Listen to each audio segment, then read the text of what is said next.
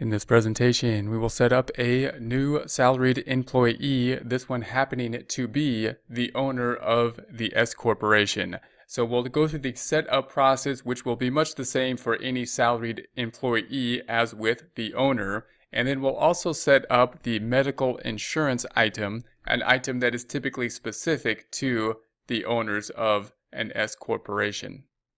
We will be entering this data into QuickBooks. For more accounting information and accounting courses, visit our website at accountinginstruction.info. Here is the home page. We currently have the open windows open. In order to open the open windows, you want to go to the view drop down and the open windows list. First, we're going to set up a new employee, and this is going to be the owner who then typically will often have to pay themselves with the regard to an S corporation. The setting up, however, will be much the same for setting up any salaried employee. So we're going to go through the employee center by going to the employee dropdown and employee center. We're then going to be setting up a new employee and I'm going to select the new employee up top to do so. The name here we're going to put for our, our example problem will be Judy and the last name Jones. This is going to be our owner. We would then, of course, need the social security number, which for our example is going to be 681-94-4688, gender female. We're not going to enter the date of birth here. We would typically want to have the date of birth. We're going to enter some minimal information so that we can process the payroll for this, this employer. And then we have the marital status. We do need that because it's going to be necessary to calculate the FIT, or we will need it somewhere in the data entry so we can calculate the federal income tax. We will say married here. We're going to say U.S. citizen. Yes, ethnicity is not necessary. I'll keep it blank. Then disability, then we'll keep this the same. Address, I'm actually not going to include the address. We would need it for the W-2s. However, I'm going to keep it blank for now and process the payroll which is taking a look mainly focusing in on the numbers. Then we're going to go through the payroll information. We are going to include a monthly payroll. And we're going to say now this time it's salary rather than the hourly. So the big change here is that we have a salaried employee instead of the hourly employee. Now because this is the owner, we're going to include a large salary so that we want to see it. And what we want to do is actually hit the cap by the end of the year so we get an example of what would happen when you hit the cap for Social Security. So we're actually going to put the wage here at 500,000. 500,000 on the wage. That's going to be the annual wage. So when we have a monthly pay period here, so 500,000 divided by 12, it's going to be the 41666 for each time period as we process the payroll.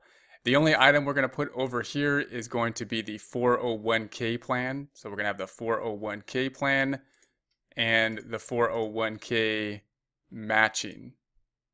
We're not going to add any of the other items because we want to keep it simple and see what the effect will be for a large salary that will probably hit the cap. We will have it hit the cap at the end of the year, the Social Security cap and the effect of the 401k plans. So we're going to have the 401k plan will be for the employee portion is going to be 3500 and we're going to have the match being 1750.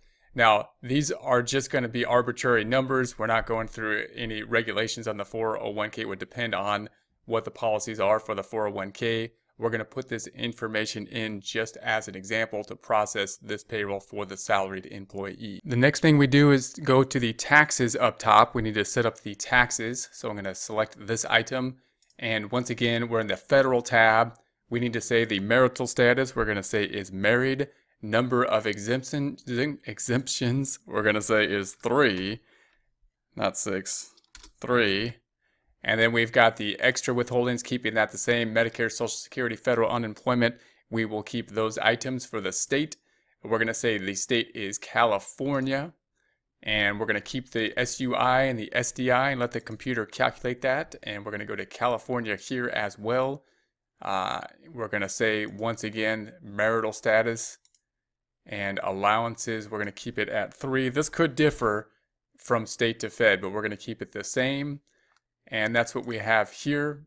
And everything looks good. I'm going to say okay. it's going to say that Judy Jones is subject to any of the following taxes. Employment training tax. I'm going to say yeah. So set that up, please. QuickBooks added the following tax to the employee record. That's a California tax. So this would be due to the California, not a federal tax. Will change from state to state. In other words, we're going to say okay and okay.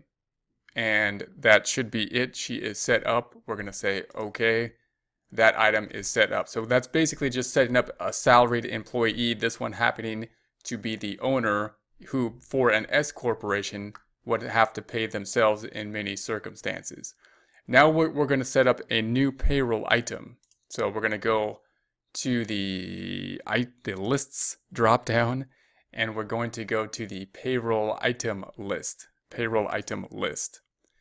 We're going to set up a new item. This is in the paid payroll items. So the paid payroll, selecting the payrolls item drop up and go into new up top. We're going to select the easy setup and go next. We're going to keep it on the insurance benefits, health insurance, dental, and so on, and say next. We'll then have this setup wizard. What we're looking for is the S Corporation Medical. And if you look at the example here, you want to look into the to the S corporation if this is a situation that you have. If it, it often happens for say a single member S corporation that set up an S corporation here, or as we read, set up an S corporation medical benefit payment if your company is an S corporation that pays taxable medical insurance premiums for 2% shareholders. If you're not sure whether your insurance plan premiums are of this type, check with your plan administrator or your accountant. So you can read into more of that, but this is another option that we just want to explore in case uh, you're looking, most of the time, oftentimes would be applicable to small uh, company S corporation type of setup, one type of setup. And so we're going to say next. And we're going to say the vendor is going to be, once again, the health insurance vendor. I'm going to keep it at the same health insurance vendor as our prior insurance we set up and say next and finish that item. We now have the S Corporation medical insurance item here and it says it's the company contribution.